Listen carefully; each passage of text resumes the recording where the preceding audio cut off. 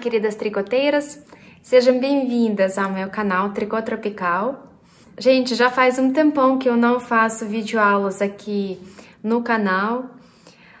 Eu estava ocupada com outros projetos, mas agora eu estou de volta com novidade, é, com essa blusa flamingo. Gostaria de convidar vocês para fazer essa blusa comigo. Eu vou postando nos próximos dias as aulas é, dessa blusa do início até o fim. Nessa primeira aula a gente vai uh, começar a fazer a gola, né? E vamos fazer o raglan. Né, como eu já falei, a blusa é feita no raglan, né? Técnica raglan. Todo o trabalho é feito em tricô circular, de cima para baixo. A, a renda dessa blusa é muito fácil, gente. É, e se você já fez algumas blusas em raglan, vocês vão conseguir fazer essa blusa com certeza, né? Eu vou ensinar como trabalhar os aumentos para que o desenho fique simétrico, né? Então, todas as linhas estão saindo do mesmo ponto. Assim que a gente terminar o raglan, a gente vai fazer o aprofundamento asiático nas costas. O aprofundamento asiático é nada mais do que adicionar algumas carreiras nas costas, né? A gente vai trabalhar apenas as costas e depois a gente vai juntar o trabalho em círculo. Claro que aqui também tem cava, né? A gente vai criar pontos da cava e eu vou ensinar vocês uh, como calcular a quantidade dos pontos para cava, dependendo do seu desenho, né? Porque provavelmente você vai fazer talvez um tamanho maior, menor, e você vai ter um desenho diferente no final da pala. Então, eu vou ensinar vocês como descobrir a quantidade certa de pontos que você vai precisar para continuar o corpo. O corpo é feito em tricô circular, e no final, a gente vai fazer o acabamento em I-cord. O acabamento é feito tanto embaixo da, do corpo, tanto nas mangas e na gola. As mangas são feitas em tricô circular, eu usei o laço mágico e uh, a manga é feita sem diminuições. Então, a gente vai tricotar um tubo, depois a gente vai diminuir os pontos e fechar uh, os pontos em I-corte. E agora vamos falar sobre os materiais. Para fazer a minha blusa, eu usei esse fio que eu comprei na Rússia, mas na verdade essa marca é turca, Yarn Art. Em 100 gramas o fio tem 500 metros, a composição do fio: 20% de lã, 80% de acrílico. Uh, esse fio não é vendido no Brasil, mas a gente pode achar outras opções. E aqui no meu caderninho eu escrevi uh, cinco opções que eu gostei por causa da metragem, né? Porque a gente precisa de um fio fininho que em 100 gramas tenha de 400 até 500 metros. E também gostei das cores desses fios. Então, eu sugiro que você use Pinguim Bambino, ele tem 400 metros em 100 gramas. A Pinguim tem um fio maravilhoso Luxor, ou Luxor, não, não sei a pronúncia. Ele tem 4, 200 metros em, 100, em 50 gramas.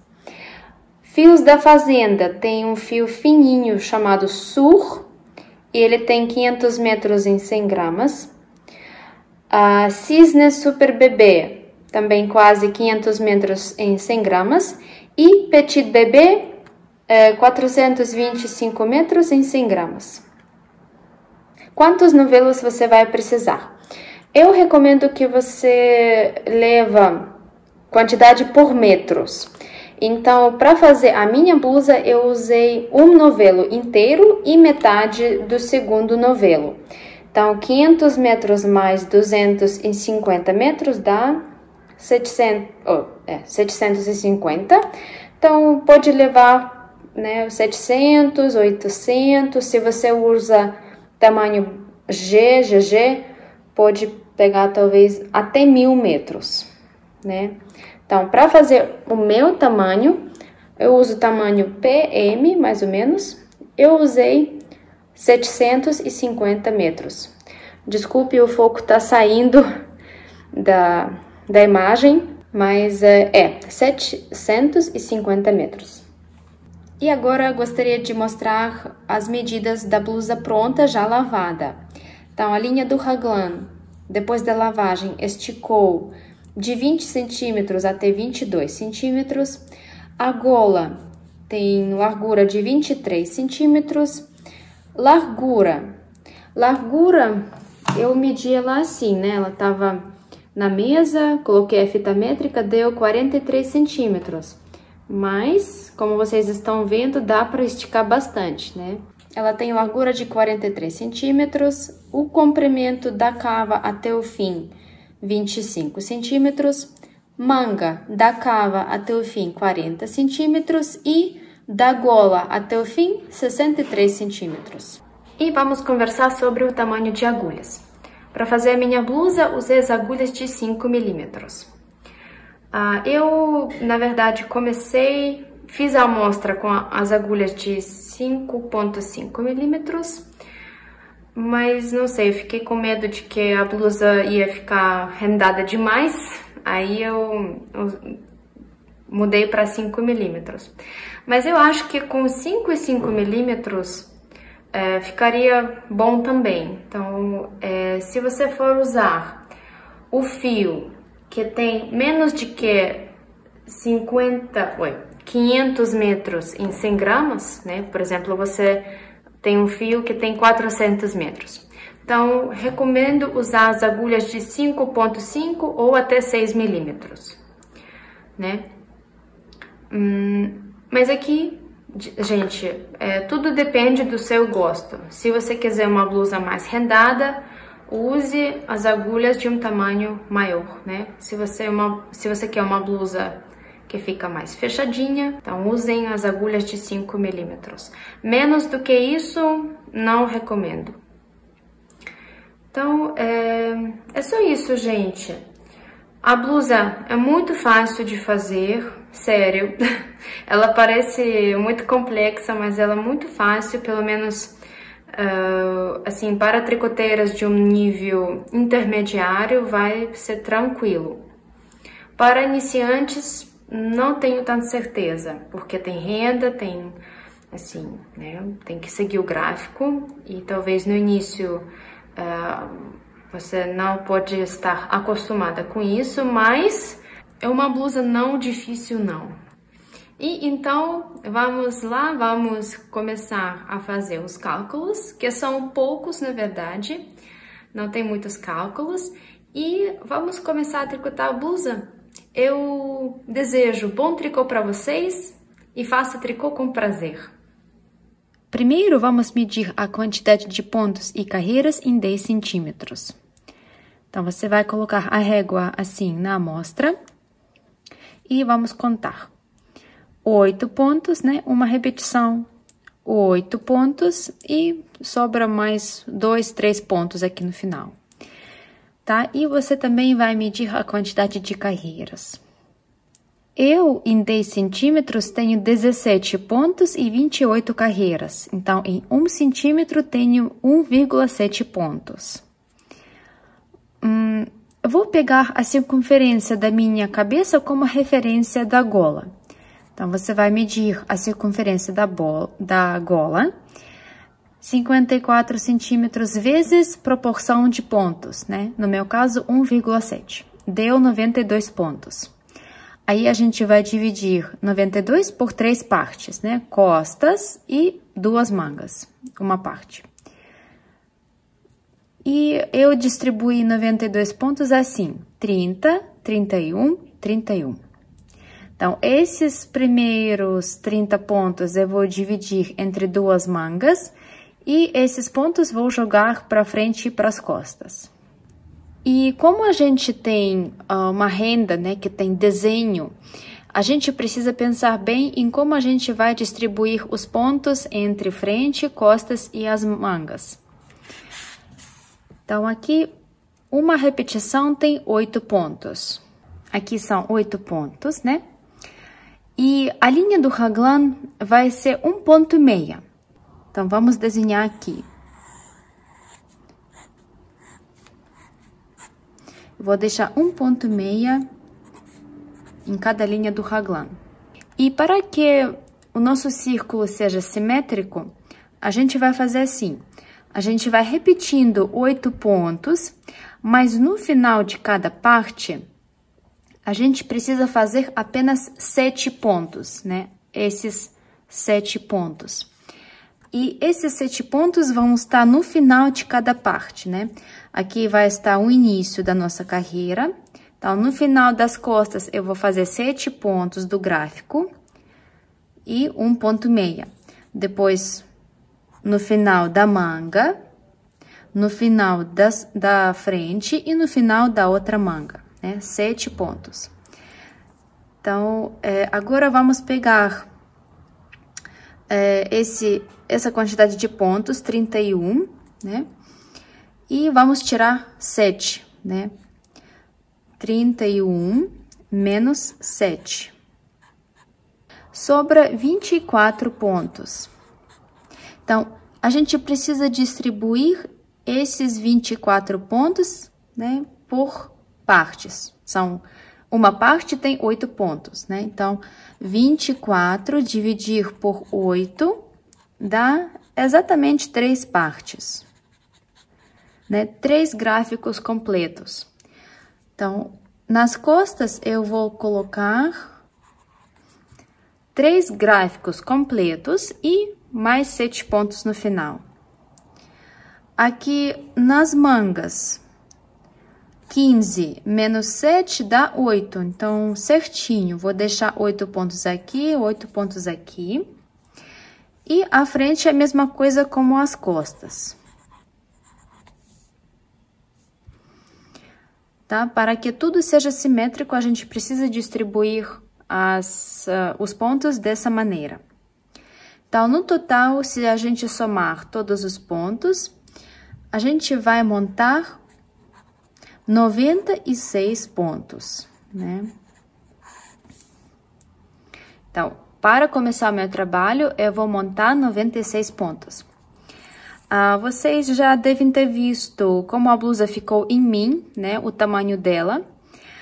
E se você tem um busto maior do que eu, né? Eu uso o tamanho PM e a minha circunferência do busto é mais ou menos 88, 90 centímetros, dependendo do, da roupa, né? Então, vocês devem ter visto a blusa pronta em mim.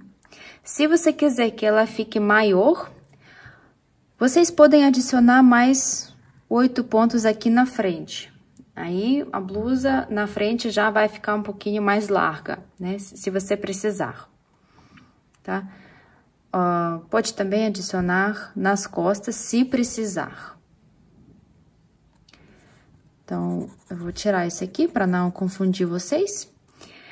E uh, vamos começar o nosso trabalho. Eu vou montar 96 pontos.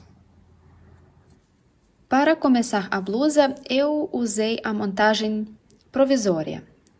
Eu tenho um vídeo explicando como montar os pontos com agulha de crochê, então, por favor, assistem esse vídeo e depois voltem para eh, esse curso.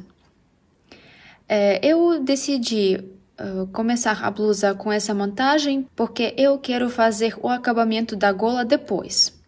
Então, agora eu já vou começar a blusa com o raglan.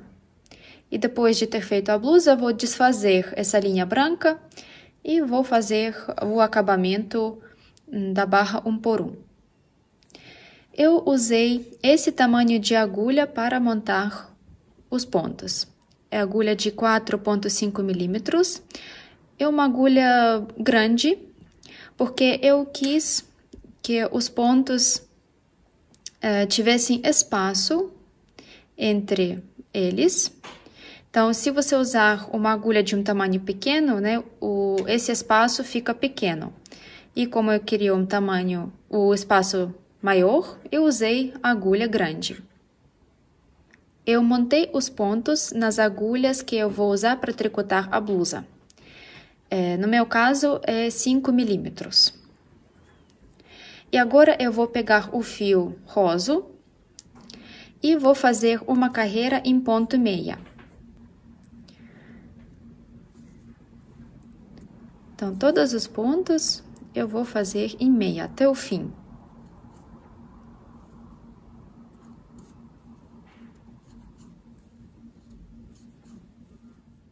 Antes de juntar o trabalho em círculo, verifique que a trancinha né, essa linha branca, no meu caso, ela fica por dentro, né? Todos os pontos estão olhando na mesma direção. Senão, é, pode ficar torto, aí depois vai ser difícil consertar, vai ter que desfazer. Então, verifique que tá tudo certinho, coloque o marcador de início e vamos fazer barra um por um. Vou fazer ponto meia ponto tricô, ponto meia, ponto tricô. E para segurar o círculo, eu vou fazer um nó para que aquele ponto não fique esticado demais. E vou continuar a barra um por um. Ponto meia, ponto tricô.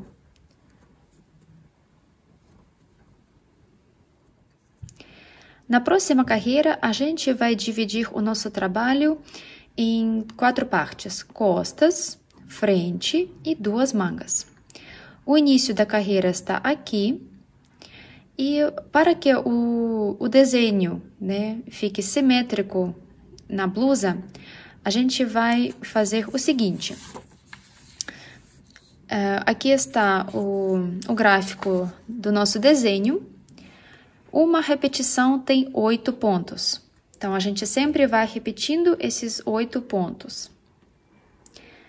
Mas para que uh, o desejo seja simétrico, a gente vai fazer o seguinte. Primeiro, a gente vai fazer três desenhos completos, né? Oito pontos. Depois são apenas sete pontos. Então, a gente não vai fazer um ponto meio aqui no final. São apenas sete pontos. Depois, nós vamos separar um ponto do raglan. Vamos fazer um gráfico completo. Depois, são sete pontos de novo, um ponto do raglan. E desse jeito, a gente também vai dividir frente e outra manga. A gente vai fazer agora a primeira carreira, tá? E uh, nessa carreira não vai ter aumentos. Prepare sete marcadores e agora vamos começar. Então, eh, eu preciso que o ponto do raglan seja ponto meia. Então, eh, o que eu vou fazer? Vou tirar esse marcador, vou fazer ponto meia e vou colocar o marcador de início aqui. Então, esse, esse ponto será o ponto do raglan. Agora, eu vou fazer esses oito pontos da primeira carreira. Então, a gente vai fazer dois pontos tricô, três pontos meia, dois pontos tricô e um ponto meia. A gente completou um desenho completo. E vamos repetir. Dois pontos tricô, três pontos meia,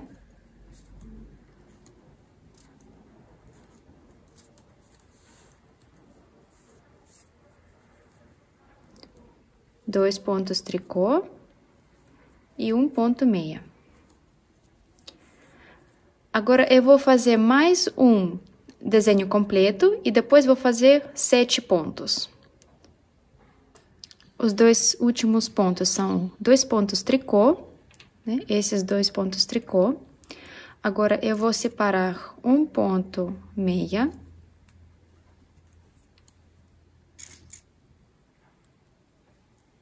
E agora, seguindo o gráfico, vou fazer um desenho completo e depois vou fazer sete pontos. Dois pontos tricô, três pontos meia.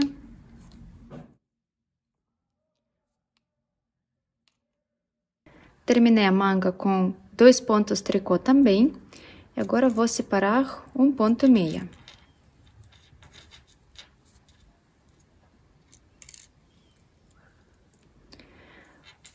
E uh, vamos fazer do mesmo jeito. Vamos separar raglan e vamos terminar essa carreira com dois pontos tricô. E na segunda manga eu terminei com dois pontos tricô, colocar marcador, um ponto meia, e nós terminamos essa carreira. Agora nós vamos começar a tricotar o gráfico do nosso desenho desde a primeira carreira. E nas carreiras ímpares, ou seja, carreira 1, 3 e 5, a gente vai fazer os aumentos. E nas carreiras 2, 4 e 6, não vai ter aumentos. Ou seja, a gente vai fazer os aumentos a cada duas carreiras. Uma carreira sim, outra não. Uma sim, outra não. Então, agora nós vamos fazer a primeira carreira com aumentos. E para fazer os aumentos, a gente vai fazer laçadas torcidas. Depois do marcador, a gente vai fazer laçadas torcidas por trás. Então, eu vou pegar o fio assim por trás, né? Assim, por trás depois dos marcadores. Agora vamos seguir o desenho do trabalho. Dois tricô, três meia. Dois tricô, três meia. Basicamente, a gente vai uh, seguir o desenho, né? Dois tricô, um meia. Completamos o primeiro gráfico Agora vamos para o segundo. E eu vou encontrar vocês ah, na segunda linha do raglan. Eu fiz as costas. Agora, antes do marcador, a gente vai fazer laçada pela frente. Então, vou colocar o indicador por baixo do fio, assim, e vou fazer laçada pela frente. Então, mais uma vez. Ah? Assim.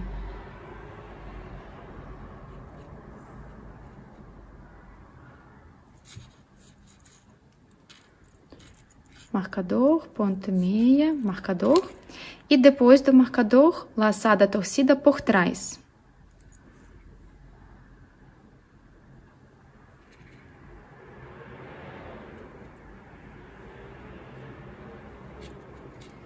Agora, vamos fazer primeira manga.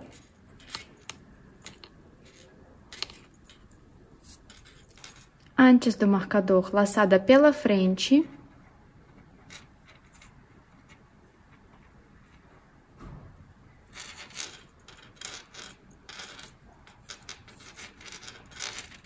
E depois do marcador, laçada por trás.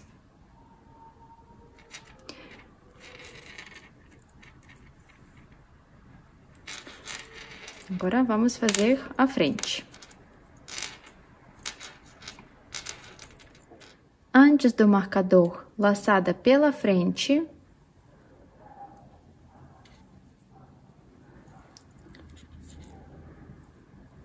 E depois do marcador, laçada por trás.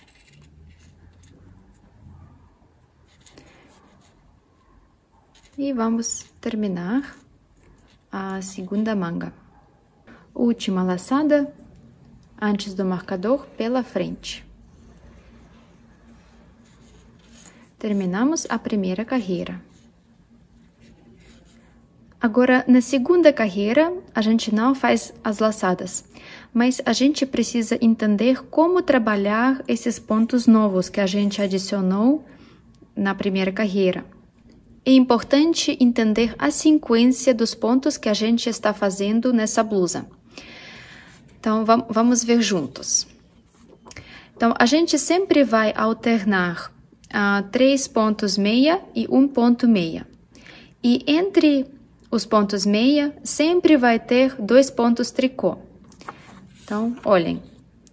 Uma sequência, dois pontos tricô, uma meia, dois pontos tricô. E aqui também. Dois pontos tricô, três meia, dois pontos tricô.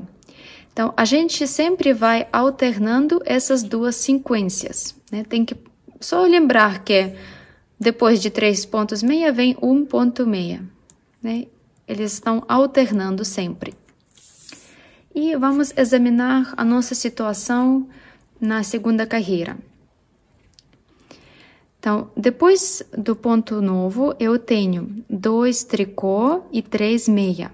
Né? Então, eu já tenho uma sequência com três pontos meia, né? Dois tricô, três meia, dois tricô.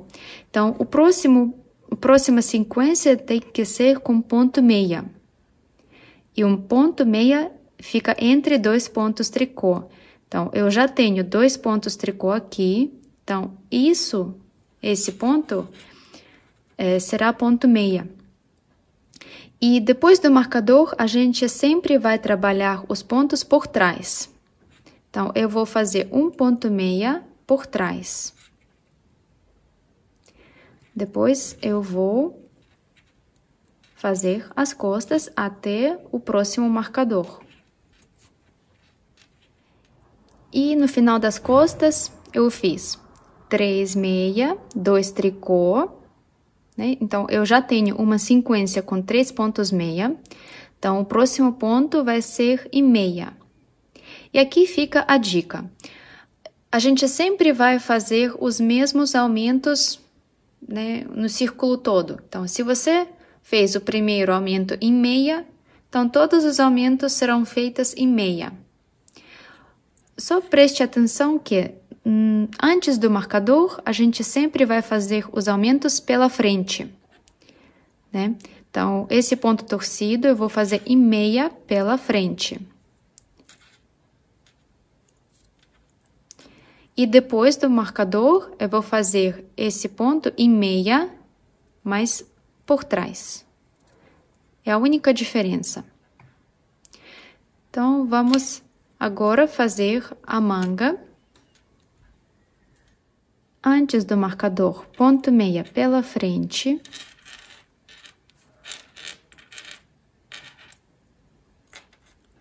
E depois do marcador, ponto meia por trás.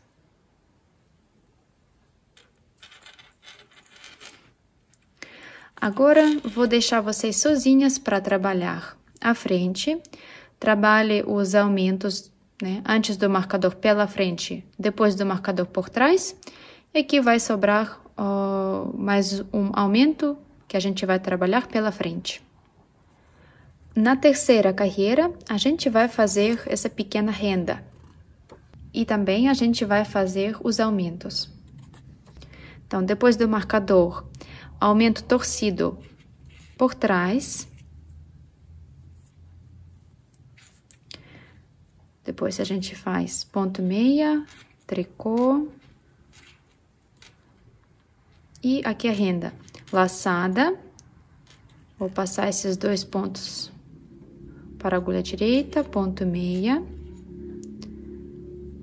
E passa esses dois pontos por baixo, laçada.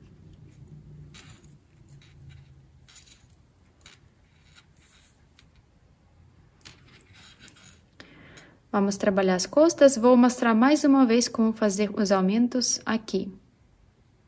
Antes do marcador, fazemos laçada pela frente.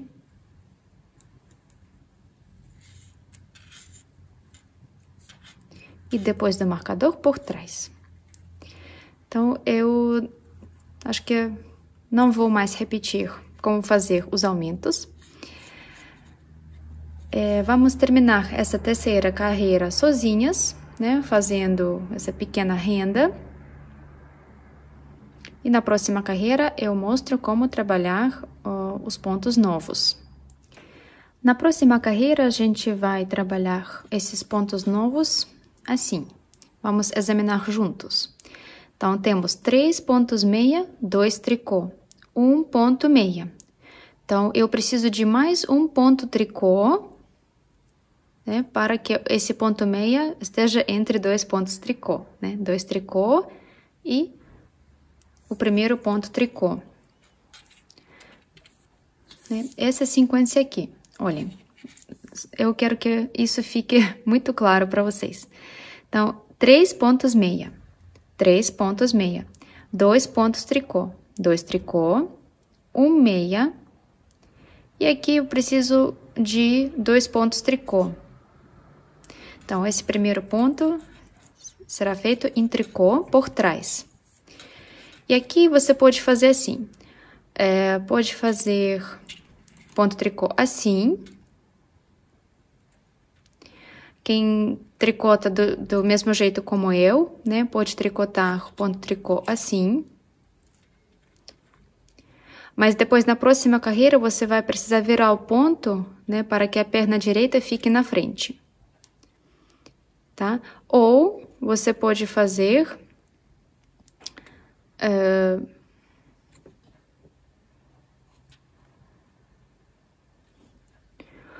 ou você pode fazer do jeito certo, desde o início, assim. Assim, o ponto tricô já fica com perna direita na frente, né? Então, é, aqui depende, né, como você prefere fazer.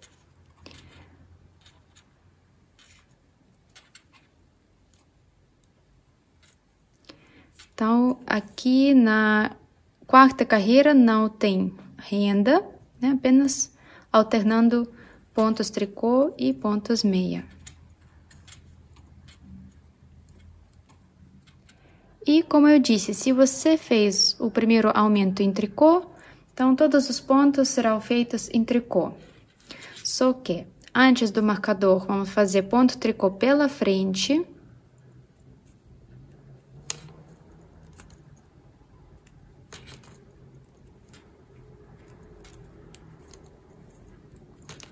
E depois do marcador, por trás.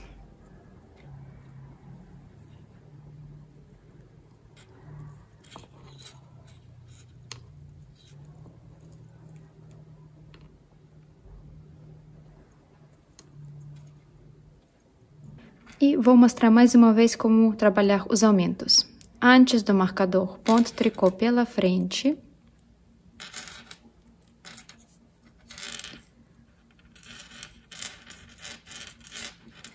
E depois do marcador, ponto tricô por trás.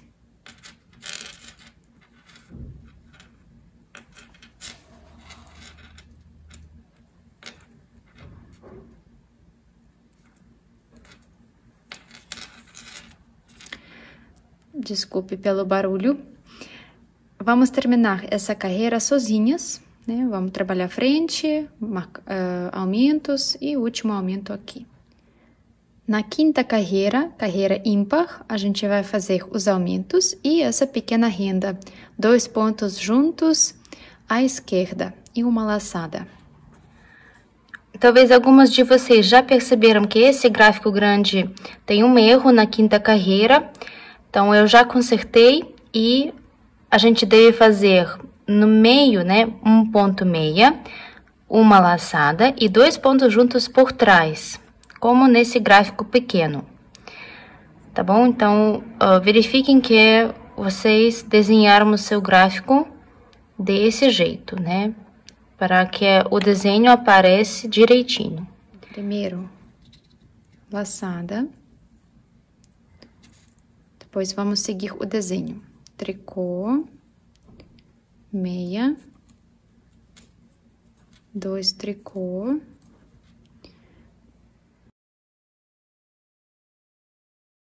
Na carreira anterior, eu fiz essa laçada de um jeito que o, o ponto tricô ficou nessa posição na agulha, com a perninha direita por trás. Então, o que eu vou fazer? Vou virar esse ponto e vou fazer ponto tricô pela frente. É muito importante trabalhar os pontos tricô ah, desse jeito, né? Pela frente. Ou você pode simplesmente deixar esse ponto na agulha assim e fazer ponto tricô por trás também. Mas olha, a perninha direita ficou na frente, então tá tudo certinho. E vou continuar tricotando.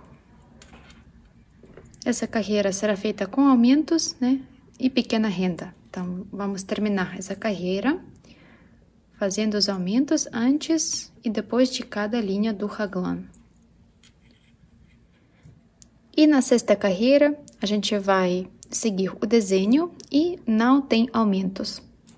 E como eu disse antes, esse ponto, né, o ponto novo será trabalhado em ponto tricô, né? Aqui dois tricô, um meia, dois tricô. Então, todos os aumentos nessa carreira serão feitos em tricô. Depois do marcador, por trás. Aqui.